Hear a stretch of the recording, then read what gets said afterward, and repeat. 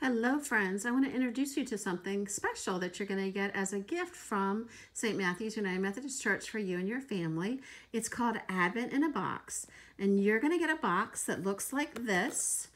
Your box though will have this sticker attached so it's sealed so that when you go to open it, you're going to have to tear open the seal. But the box, the seal says open on November 29th. You could open it before that as long as you keep track of the pieces, but you want to have it open for sure by the 29th of November, okay? Because you're going to do some special activities using what's in the box. All right, so I'm going to open the box up so you can see what's in your box. The first thing you're going to see is a Welcome to Advent box. And the Welcome to Advent box includes um, your what is Advent. It tells you about Advent. It's more for the grown-ups to tell you the things that you can do. It's going to tell them if there's any special supplies you need, which you don't need much. Just household things like a pen or colored pencils, some milk, um, some dish soap, some matches or a lighter. And then um, in the box, you're also going to find for each week, there'll be scriptures for the week. There'll be a sheet that says hands-on activity. There will be a page that says interactive prayer activity. And then there'll be a page that says Emmanuel, God with us. And one of our um, songs of Advent is O Come, O Come, Emmanuel. So each week they'll talk about um, that song. Okay, so you'll have activities to do. It'll include things, um, there'll be some, a paper chain that you can be making throughout Advent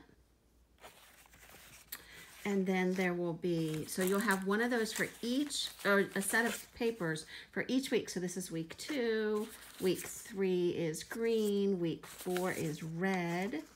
And then you're gonna have something, it's an instructions on how to make an advent spiral, and I'm gonna show you how that works in just a minute. And then in your box, you're gonna see, you're gonna have two packages of Model Magic, one and two. There you go. Oh, upside down. Two.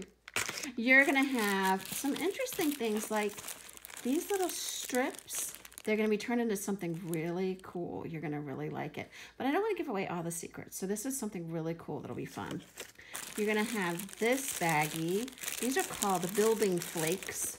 Hmm, let's see what we'd end up doing with those. You're to have a bag of rock salt. Huh. I wonder what we'll do with rock salt. I don't know. You're going to have a bag of stars. That's going to go with the Model Magic. It's got a special job. You're going to have these guys. They're called Color Fizzes. And you're going to have, there you have a special job. You're going to have a piece of purple construction paper. Ooh, that's going to go with your Model Magic and your stars. You're going to have some Alka-Seltzer tablets. Hmm. You're going to have a little bottle it's like a film canister. You're to have a, a Q-tip. And your last thing is hiding from me. Oh, wait, there's a candle. That's to go along with your stars and your Model Magic. And there's another candle. It looks like a birthday candle. I wonder what we're to do with that. So those are all the things in your box. And I'm to show you what we're to do with the Model Magic. So hold on. Okay, friends, so you're going to take that Model Magic that you have. You've got two packages, so you want to put them together. So you can still see it's a little separated. You know, you're going to work with it just like you do with Play-Doh. I know you know how to do that. So work with your Model Magic. And what you're going to need is to measure, is to roll out a snake. That's always fun. So you're just going to work with a Model Magic just like you normally would with Play-Doh or whatever and roll it and roll it and roll it until you get a snake that is 25 inches long. And so I'm gonna work with it and I'm gonna come back and show you what it looks like. Just a second.